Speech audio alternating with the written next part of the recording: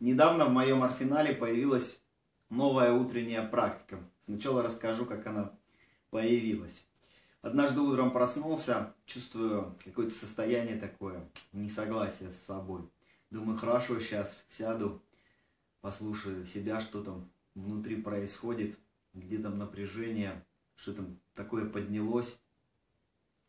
Ну и так, между прочим, открыл компьютер, открыл какую-то соцсеть, и вдруг э, вижу фотографию одного из своих друзей, и в памяти всплывает ситуация, одна из нашего общего прошлого.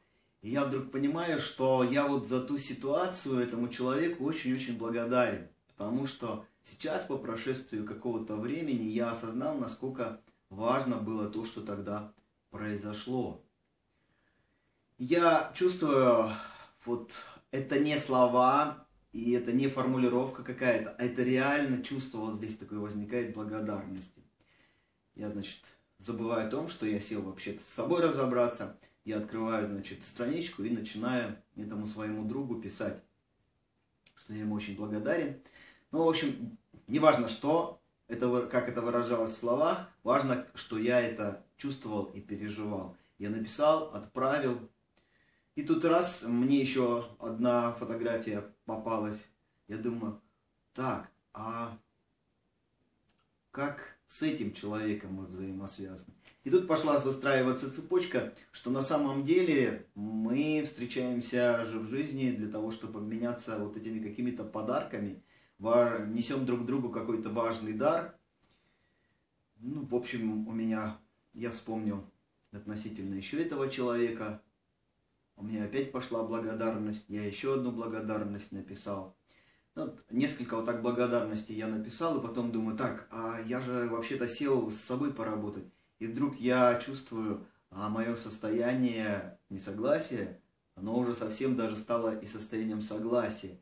И вообще вот это вот состояние возникло такой умиротворенности и радости внутри. Я так подумал, а что я сейчас делал? Собственно говоря, я сейчас делился с людьми своей благодарностью. Согласно исследованию, благодарность является одним из способов активации в нас состояния счастья.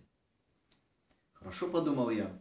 И на следующее утро я открыл уже целенаправленно свою соцсеть и посмотрел, вот кто первый попался, я вспомнил, возникло чувство благодарности, не на автопилоте пишем, возникло чувство благодарности и искренность написал. А потом я стал, даже уже не открывая компьютер, я просто стал просыпаться утром. И даже иногда, не вставая с постели, вот так вот лежу с закрытыми глазами и жду, отправляю запрос, и поднимается образ какого-то человека – я начинаю переживать ту какую-то ситуацию или какой-то разговор, какую-то информацию вспоминаю, которую мне принес именно этот человек. Возникает вот это состояние благодарности, я поднимаюсь и иду и пишу человеку эту благодарность. Классная практика.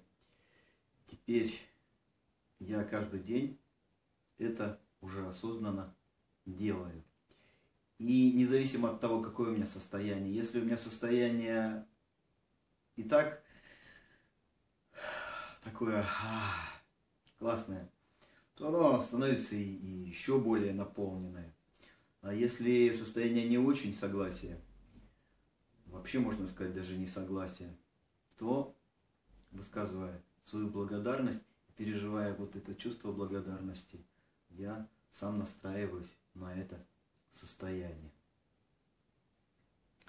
Можно это делать не обязательно утром. Может быть, вам удобнее это сделать вечером или днем. А может быть, просто у вас вдруг будет как раз вот возникнет какое-то некомфортное состояние. Возьмите и примените практически то, что я вам рассказываю. И посмотрите опять же. Слушайте себя всегда в этот момент. Слушайте свое состояние до того, как вы что-то делаете, и после того. Но условия очень важны. Это не слова и не формулировка.